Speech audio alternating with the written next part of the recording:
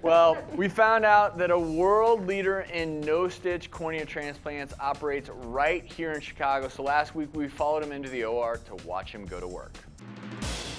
Sue is unable to see because she has a medical condition known as bullous keratopathy. In layman's term, it's a cloudy cornea.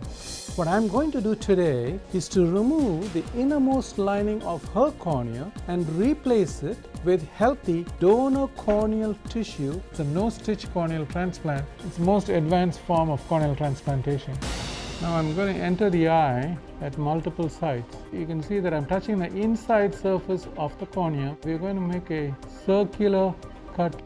That's the innermost lining that I just removed this is a suture, it's thinner than the human hair, and I'm going to close this wound with a single stitch. Now we're going to use the donor cornea. I'm going to place that in this twin block. I'm going to partially remove the inner lining. This is a very delicate part of the surgery because this layer is actually thinner than the plastic wrap that we use at home for food. So one has to be very careful now I'm going to take the circular blade to make a cut on the donor cornea. And I'm going to put gentle pressure with my finger going all the way around. I'm going to separate it off of the circular blade using this forceps.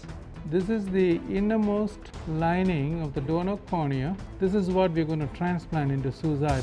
This is going to go inside the eye now. Okay, so I'm closing the wound. So you can see now that the donor corneal tissue is inside Sue's eye. I'm going to remove the surface layer because the cornea is too cloudy. This surface layer will then grow back and you'll begin to see that the cornea will start clearing with the donor healthy cells in place now.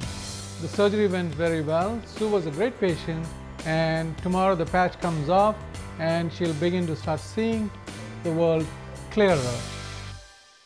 Please welcome Dr. Thomas John, eye surgeon and clinical associate professor at Loyola University here in Chicago. Welcome to the show. Thank you, Thank you. That was some pretty cool stuff. Thank you. When we're talking about the cornea here, the cornea itself is extremely thin. Yeah. So you're talking about something thin that's a part of something thin. Wow. Exactly so right. These microscopic layers.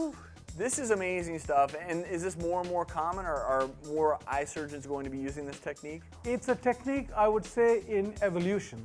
Because Spe special skill, right? Special skill, yeah. and the procedure has to be more simplified. So most or all surgeons can do it. So it's in evolution. Mm -hmm. But the advantage of this procedure is the vision comes back much faster and the cornea will look like normal cornea.